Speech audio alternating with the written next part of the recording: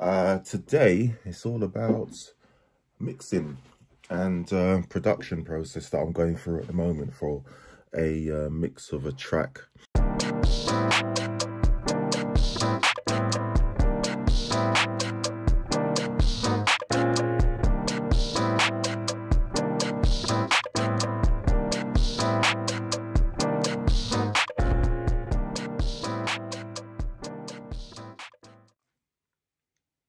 guys, another edition of Mind Lab Studios. Uh, today it's all about mixing and uh, production process that I'm going through at the moment for a uh, mix of a track um, that I'm working on. Uh, this is um, the main club mix. I haven't done the deep house, or say deep house, I haven't done the house mixes as yet and dub mixing stuff like that. I'm going to be working on that. I might add that as a part two, or you might see it tagged on to the rest of this video. Who knows?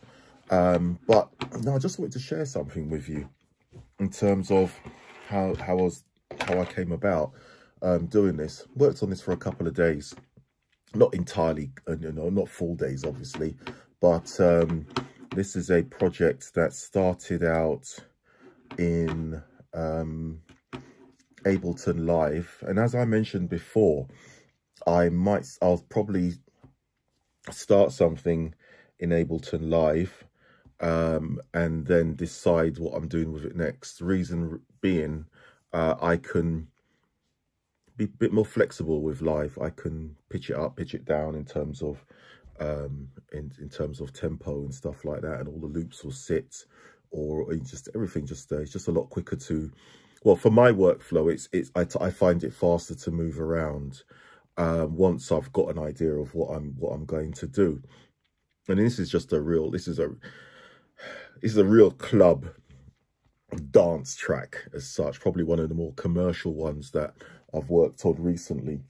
And uh, so it's taken me away from my usual comfort space of um, Afro house, deep house, um, hip hop and R&B into the more commercial realm, just to see how it would be as a mix and see how it would how it would come out. So yeah, um, I'll play you a bit of it. I don't want to play too much, give it away. Um, but yeah, let's just have a quick whiz of uh, one of the tracks, well, the track itself. I'll jump around a bit, um, just so you can hear it. So that's the track. Um, I've got it running in Pro Tools at the moment. I did what would be a, um, done a couple of mixes. So what I've got here is just the stereo, if you can see it actually, just got the stereo mix going on. And reason I've done that, uh, I tend to, I'll mix in Pro Tools and I'll mix in iZotope or, or master in iZotope. Um, but the reason for doing that is just to compare the results and see which one, which one I like. Always find that it varies and I'm not quite sure why. Pro Tools does add a little bit of I know it's all through the computer, but it seems to add some sort of coloration to it to give it a it feels like a warmer sound. Someone can correct me on this, whether it's true or not, I don't know. But when I'm in Pro Tools, I always find that my results are warmer than other um, other platforms. Don't know why. Maybe it's the way that I use it and I sort of, you, you probably fall into a habit of tweaking things in a particular way. But that's what happens um, with me. So yeah, it started out, it started out as a, let's see, is this working? What's going on here? Oh, I've got it on solo. So let's flick that back. Turn it up a bit because the levels are obviously lower in, they were obviously lower in um, Ableton. And here you go. So yeah, just a quick glimpse of the track. What's going on there. I won't lift it up too much. The uh, Should tweak it a bit. There you go. And so you can see uh, the MIDI files, uh, audio, and all the rest of it. So it started out in there. There's a lot of tracks in here because what I've done um, for sound wise and stuff like that, I have layered it and it's it's layered quite heavily. So there are several basses going on. And what I've done is to, and it, there's obviously some string, there's a lot of string sounds going on. Um, yeah, strings, all sorts um, in this one. But what I did was to um, try and just get a feel just to uh, get that warmth in there. So I've got for, for the keyboard sounds for um, more the music parts, it's got Rhodes in there. It's got um, an equivalent of a Moog. Um, it's got various synths, which I picked up in in live. And this is standard live stuff. I haven't um, I haven't done anything uh, fancy. There are no, you know, super duper plugins used in or anything like that. And this is really just Ableton Live 11. And when I exported it, I exported all the effects and everything that in, like that into Pro Tools. So all those files that you saw, I um, I shifted out into, I exported the whole lot, all the files as I think it was about 40, just over 40 tracks and um, shifted those out into Pro Tools. Let me see if I can find it a second. Uh, da, da, da, Here we go. Okay. Uh, should I save or not? Mm, save it. Doesn't matter. There we go. So uh, it ended up in here. Uh, it looks like there were just the, the signal. The signals are quite low, um, but I really wasn't worried about that. It's only sort of some of them. Uh, the more the, the lower sounds were quite high, as in drums, uh, not high, but um, higher. Um, bass. You got. Um, I added in a, another 707 kick, uh, and it, the, drums are interesting because when I when I sorted out the drums first, hang on, I'll play it from here. I'll just do a quick snippet.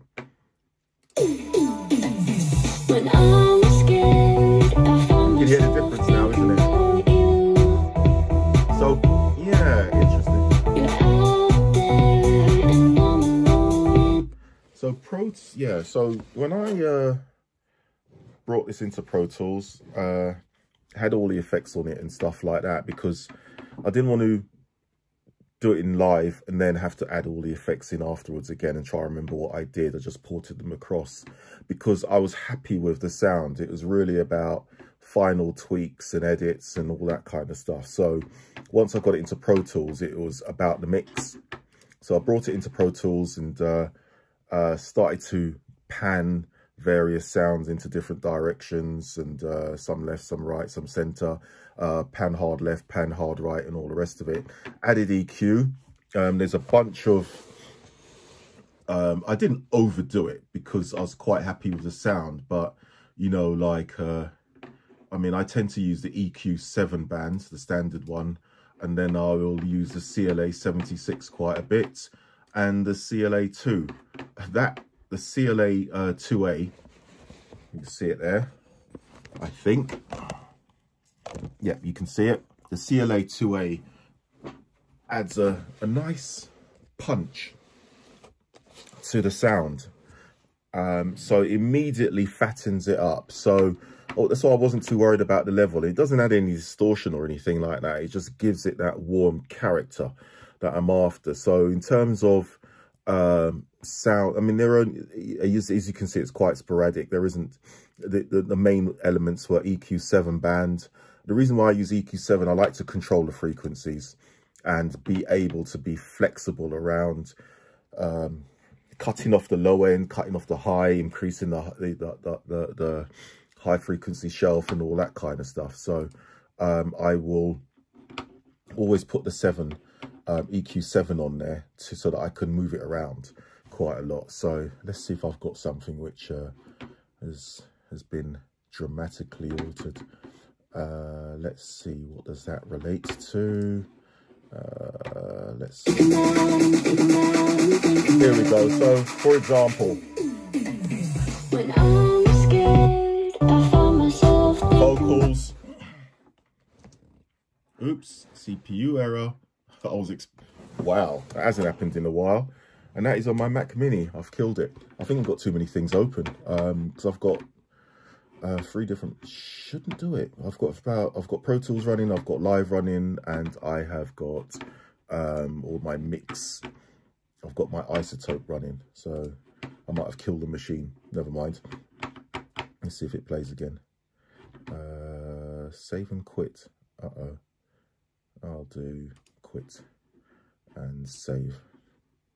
I'll come back to that. So when I uh, mixed it, I just, yeah, EQ, little bit of EQ, little bit of compression in places, um, tailed it off, made sure that there were no overlapping frequencies as such. So there was, there wasn't too much demand and, and too much muddiness in the sound.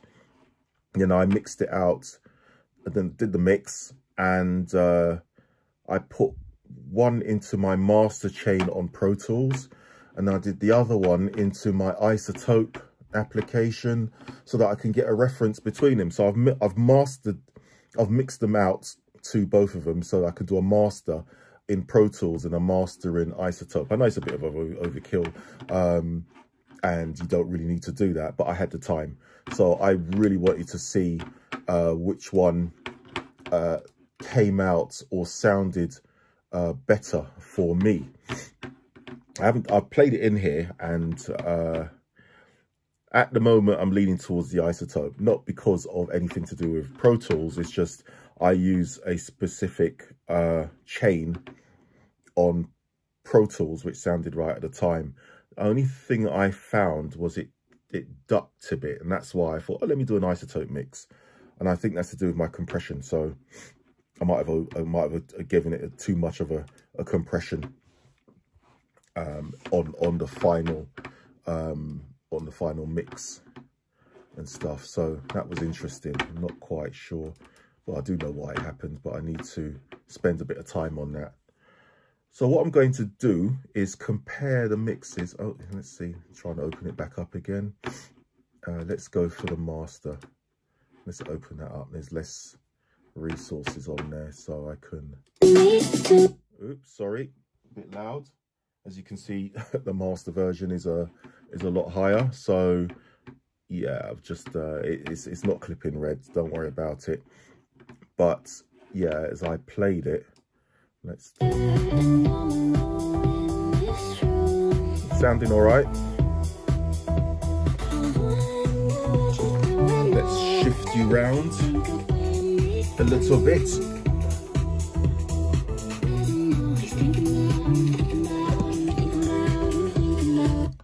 And in terms, I've just got EQ. I have, I've taken that one out. Um, I had a, a SSL bus, uh, SSL in there. I've got my CLA2 and um, Maxim.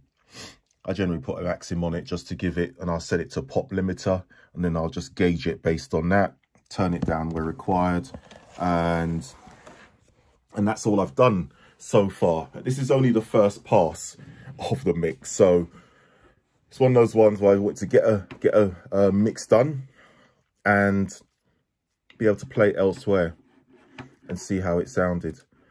And what I'll do tonight is compare the Pro Tools one against the iZotope one, see how they sound, uh, make sure the levels are right, make sure that it balances out okay, there are no issues, I'll reference it against other tracks uh, uh, that I've got in that genre, uh, dance clubby tracks, and and just make sure it's got it's sitting in the right place and it's it's it's in the right space when it comes to that type of track so it hits the clubs nicely. I mean, playing it how loud in the studio, obviously no issues, but it's how does it transfer to different mediums? How does it transfer to your phone? How does it transfer to your car stereo? How does it transfer to um, your hi-fi? All those, all the usual stuff that you would generally do. and and that's what I'll be working on and just tweak it. Once I've done that, I know then I'm happy with the sound and I'll park it, leave it, and uh, then I'll work on. Um, I've got yeah, I've got my.